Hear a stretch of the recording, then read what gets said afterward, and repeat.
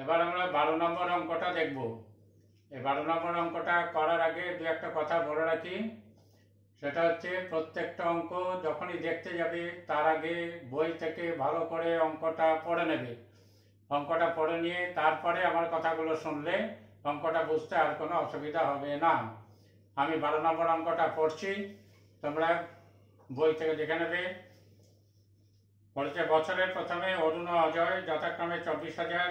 টাকা ও তিরিশ হাজার টাকা দিয়ে যৌথভাবে ব্যবসা শুরু করেন। কিন্তু কয়েক মাস পরে অরুণ আরও বারো হাজার টাকা ওই ব্যবসায় মূলধন দেন। বছরের শেষে ওই ব্যবসায় বারো, চোদ্দ হাজার তিরিশ টাকা লাভ হলো এবং অরুণ সাত হাজার একশো তিরিশ টাকা লভ্যাংশ পেলেন। অরুণ কত মাস পরে ব্যবসায় টাকা দিয়েছিলেন? এখানে অরুণ কত মাস পরে ব্যবসায় টাকা দিয়েছিলেন এটা ধরবো না। ধরবো অরুণ এক্স মাসের জন্য টাকা দিয়েছিল এক্স মাসের জন্য। এবার বছরে যখন বছর মানে বারো মাস, তার মধ্যে এক্সের মান যখন আমরা বার করব, যদি এক্সের মান পাঁচ মাস বেরোয়, তাহলে টাকাটা দিয়েছিল বারো থেকে পাঁচ বাদ যাবে, অর্থাৎ সাত মাসের জন্য। যদি ছয় বেরোয়, তাহলে ছ মাসের জন্য। যদি সাত বেরোয়, তাহলে পাঁচ মাসের জন্য। এইভাবে করলে অঙ্কটা করতে সুবিধা হবে। কত মাসের জন্য দিয়েছিল সেইটা ধরে নেয় আমি অঙ্কটা করব। যেমন এখানে বলেছে, দেখো, ধরি, অরুণ, বারো হাজার টাকা এক মাসের জন্য দিয়েছিল। তাহলে অরুণে চব্বিশ হাজার টাকা কাটে বারো মাস, আর বারো হাজার টাকা কাটে এক মাস। আর অজয়ের তিরিশ হাজার টাকা কাটে বারো মাস। কেননা অজয় কোনো টাকা তোলাতুলি বা টাকা দেয়নি। তাহলে আবার সেই এক মাসের হিসাবে এর আগের অঙ্কটা দেখেছ? এক মাসের হিসাবে দুজনের মূলধনের অনুপাত চব্বিশ হাজার ইন্টু বারো, এই চব্বিশ হাজার ইন্টু বারো প্লাস বারো হাজার ইন্টু এক্স। আর আরেকজনের হচ্ছে তিরিশ হাজার ইন্টু বারো, তিরিশ হাজার ইন্টু বারো। এইবার এটাকে আমরা যদি বারো, এই যে চব্বিশ হাজার ইন্টু বারো, এখান থেকে যদি আমরা বারো হাজার কমন নিই, তাহলে একটা চব্বিশ থাকবে, আর এখান থেকে বারো হাজার কমন নিলে একটা এক্স থাকবে। তাহলে এটা হলো বারো হাজার ইন্টু চব্বিশ প্লাস এক্স এস টু এটা হলো তিন লাখ ষাট হাজার। এইবার দুটোকে আমি বারো হাজার দিয়ে ভাগ করে দিয়েছি, তাহলে অঙ্কটা কত সহজ হয়ে গেল, চব্বিশ প্লাস এক্স ইস টু তিরিশ। কত বড় অঙ্কটা, কত ছোটতে নেমে চলে এলো। এই জিনিসগুলো ভালো করে শিখতে হবে। এবার মোট লাভ দেওয়া আছে চোদ্দ হাজার তিরিশ টাকা। তার মধ্যে অরুণের লাভ দেওয়া আছে সাত হাজার একশো তিরিশ টাকা। তাহলে বাকিটা নিশ্চয়ই অজয়ের লাভ। সে অজয়ের লাভ হচ্ছে চোদ্দ হাজার তিরিশ মাইনাস সাত হাজার একশো তিরিশ দ্যাট ইজ ছ হাজার নশো টাকা। তাহলে আমরা পেলাম অরুণের লাভ সাত হাজার একশো তিরিশ টাকা আর অজয়ের লাভ ছ হাজার নশো টাকা। এবার আমরা লাভের অনুপাত বার করব।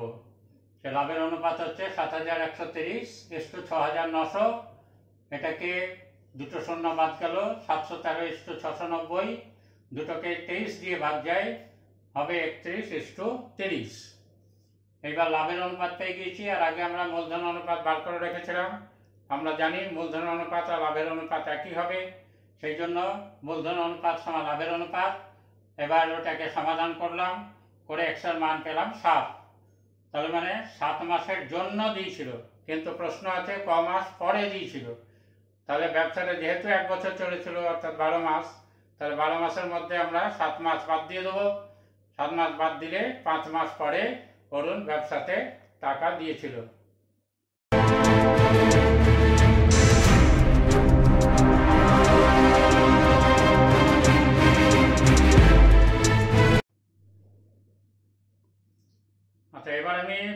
থেকে কিছু অঙ্ক তোমাদেরকে বলে দিচ্ছি ইনস্ট্রাকশন দিয়ে দিচ্ছি। ইনস্ট্রাকশনটা ফলো করলেই তোমরা অঙ্কগুলো খুব সহজেই করতে পারবে। তেরো নম্বর অঙ্ক। কুমারটুলির তিনজন মৃৎশিল্পী একটি সমবায় ব্যাংক থেকে যৌথভাবে এক লাখ টাকা ধার করে মৃৎশিল্পের একটি কারখানা স্থাপন করেন। তারা এই চুক্তি করেন যে প্রতি বছর ব্যাংকের কিস্তি আঠাশ হাজার একশো টাকা দেওয়ার পর বাকি লাভের অর্ধেক কাজের দিনের অনুপাতে এবং বাকি অর্ধেক সমান ভাগে ভাগ করে নেবেন। গত বছর তারা যথাক্রমে তিনশো দিন, দুশো পঁচাত্তর দিন ও তিনশো পঞ্চাশ দিন কাজ করেছেন। মোট লাভ হয়েছে তেরো এক লাখ উনচল্লিশ হাজার একশো টাকা। কে কত টাকা পেয়েছিলেন? এই অঙ্ক আর আগের যে অঙ্কগুলো করিয়েছিলাম এর আগের ভিডিওতে যে অঙ্কগুলো ছিল, সেই অঙ্কগুলোর মধ্যে কোনো পার্থক্য নাই। এখানে দেখো, এক লাখ উনচল্লিশ হাজার একশো টাকা লাভ হয়েছে। তার মধ্যে ব্যাংকের কিস্তি দিতে হয়েছে আঠাশ হাজার একশো টাকা। তাহলে সেই টাকাটা আগে মাইনাস হবে। তাহলে ব্যাংকের কিস্তি দেওয়ার পর কত টাকা থাকল দেখতে হবে। সেটা হচ্ছে এক লাখ উনচল্লিশ হাজার একশো মাইনাস আঠাশ হাজার একশো। দ্যাট ইজ এক লাখ এগারো হাজার টাকা।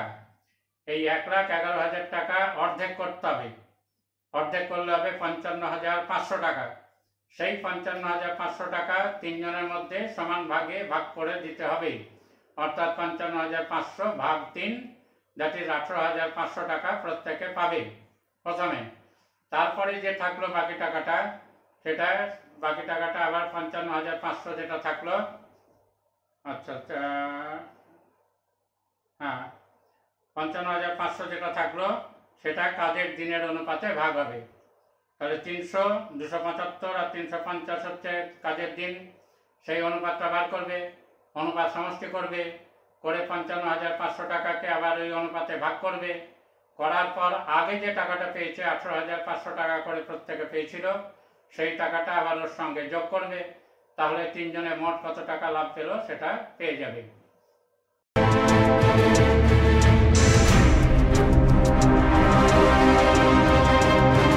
যেগুলো অতি সংক্ষিপ্ত উত্তর ধর্মের প্রশ্ন আছে, সেগুলো খুবই সহজ অঙ্ক আছে। তোমরা নিজেরা পড়লে, নিজেরাই বুঝতে পারবে। অনেক অঙ্ক করালাম। আমি দু একটা শুধু উদাহরণ দিচ্ছি। যেমন কোনো যৌথ ব্যবসায়ে তিন বন্ধুর মূলধন যথাক্রমে দুশো টাকা, একশো পঞ্চাশ টাকা এবং দুশো পঞ্চাশ টাকা। একই সময় পরে তাদের লভ্যাংশের অনুপাত হবে। আগেই বলেছি, মূলধন অনুপাত যা হয় সেটাই লভ্যাংশের অনুপাত। এগুলো অবজেক্টিভের অঙ্ক। এগুলো জাস্ট একবারে লাভের অনুপাত বলে দুশো ইস্টু দেড়শো ইস্টু আড়াইশো করে দেবে। চার ইস্টু তিন ইস্টু পাঁচ হবে। অর্থাৎ বিয়েরটা হবে।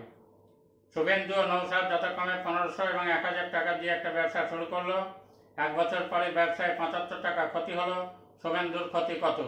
এটা তুমি আগেই করেছ। খুব সহজেই করতে পারবে, এটা বলার প্রশ্ন আসে না। ফতেমা, শ্রেয়া, স্মিতা তিনজনে মোট ছ হাজার টাকা দিয়ে একটা ব্যবসা শুরু করল। এক বছর পরে ফতেমা, শ্রেয়া, স্মিতা যথাক্রমে লভ্যাংশে পঞ্চাশ টাকা, একশো টাকা, দেড়শো টাকা পেল। স্মিতা ওই ব্যবসায় কত টাকা দিয়েছিল? এটা ওই একই জিনিস। আগে লাভের অনুপাতটা বার করবে। লাভের অনুপাত সমান মূলধন অনুপাত। অনুপাত সমষ্টি করবে।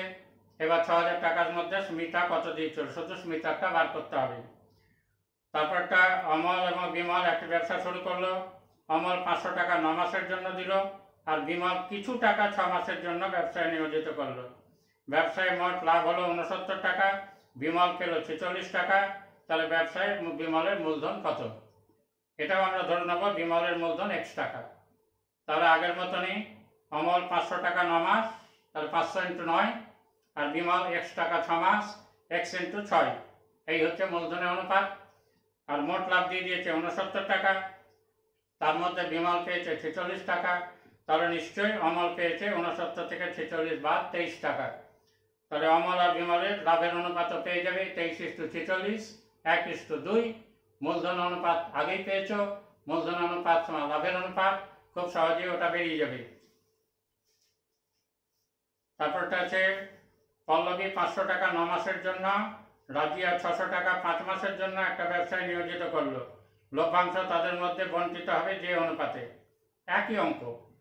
রাজ্য পল্লবী এবং রাজিয়ার মূলধনের অনুপাত হচ্ছে পাঁচশো ইন্টু নয় ইস্টু ছশো ইন্টু পাঁচ। পঁয়তাল্লিশশো ইস্টু তিন হাজার।